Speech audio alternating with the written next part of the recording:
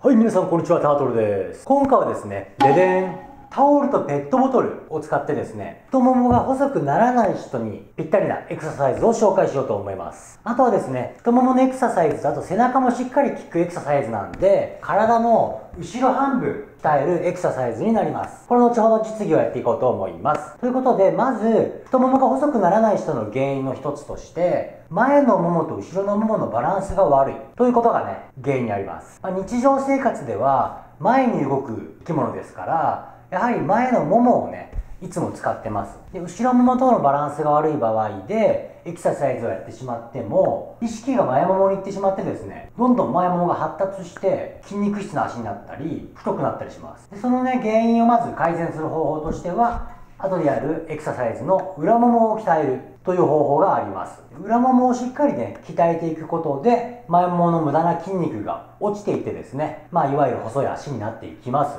であと一つ間違っちゃいけないのはクワットとかをしっかり重り持ってやってしまうと足はね太くなってしまいます、まあ、外国人の女性とかあとはね、しっかり鍛えてる女性、別に太くなってもね、気にしない人もいると思うんですけども、細くしたいよっていう人が、負荷をかけて筋トレをして前もも鍛えた場合は、発達して太くなって結構大変なことになります。なかなか筋肉落ちなくなりますんで、それはね、間違って動画を見ながらね、鍛える動画を見ながらやらないようにした方が良いかと思います。で、やはり女性といえど、前ももでも負荷が限界を超えてしまうと太くなってしまうんで、できればやってほしいエクササイズとしては、負荷の軽いエクササイズで、やりすぎない、限界を超えてるつまり太くなるんで、やりすぎない軽い負荷、適度にいつもやるということがね、太ももを細くする方法の一つです。ということで、今からですね、このタオルとペットボトル、持ってる方は今から走って取りに行ってください。これを持って一緒にやっていきます。では行きます。はい、このタオルとペットボトルをですね、まあ使うんですけども、まあ、姿勢が悪くならないようにいいフォームを保つためにこれを使っていきますでまずはですねど真ん中ぐらいにペットボトルを置いて包みます。包んだら両端ねじってもう普通のねキャンディーみたいにしてください。っかり両方逆にねじってですね。でこれしっかり逆にねじって今から横に引っ張ったままやるんですけどもこれが軽く握ってると口が開いちゃってペットボトルが落ちますんでそこはねしっかりねじって両サイドに引っ張った状態をキープしてください。これでですねしっかりねじって引っ張ったままです。この状態でこのペットボトルの幅がちょうどもものね幅ぐらいにしてください。500ml のペットボトルの幅がちょうどももの幅。足も同じぐらいです。このままですね膝が前に出ないようにタオルをすねに当ててここで上下にね体を動かします膝の曲げる角度はこれぐらいです。曲げすぎると膝が出ます。膝が出ないように膝の曲げる角度を考えてください。これでですね、しっかりお尻を出して胸を張って、これでこのすねをね、タオルでこする感じで、まず10回動きます。一緒に行きましょう。1、2、3。これ腰がね、丸くならないように気をつけてください。5、6、7、8、9、10はい今度は立ちます。今度はね手をしっかり上に伸ばして。で今度は上半身だけ動かしていきます。しっかりタオルを引っ張ってください。で背筋はしっかり。腰が丸くならないようにやってください。こういう感じです。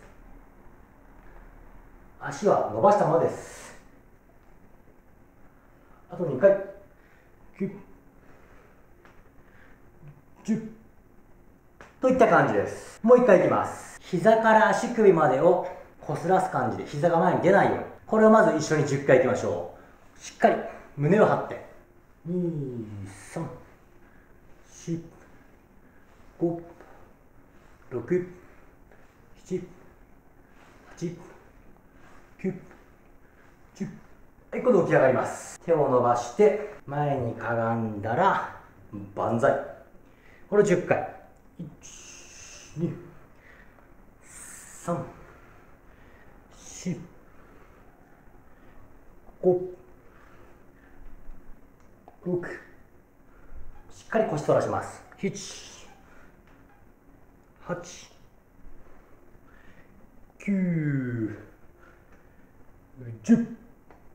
はい、OK です。お疲れです。はい、お疲れでした。今みたいにね、このペットボトルを包み込んで、しっかり横に引っ張って、これを使ってね、いい姿勢を保ちながら、今みたいに2種目、しっかりね、膝が出ないように、お尻を出して、しっかりね、ここにね効いてきますんでこことここにねお尻ともも裏に効いてきますんで今のをねゆっくり10回2セットあとは上半身前にかがんで万歳しますあれでね背筋と背中をしっかり使えますんで今のも10回っていうのを2セットからね、ぜひ始めてみてください。まあ、慣れてくるとね、まあ、簡単なんで、まあ、負荷も軽いですし、まあ、大体3セットとかをね、毎晩やってください。毎晩。そうすると、裏のももが鍛えられて、あとは前屈するときはね、こう前屈するときは、裏ももストレッチになりますんで、まあ、裏ももストレッチもね、しっかり、しっかりやってもらえたらと思います。今日は太ももを細くするための方法、簡単エクササイズでした。今日もご視聴ありがとうございました。よかったらコメントとかね、あとはグッドボタンとか、バタボタン欲しくないな、グッドボタン押してもらえたらありがたいです。説明欄にもね、太もも痩せのブログ書いてますんで、よかったら遊びに行ってください。今日もご視聴ありがとうございました。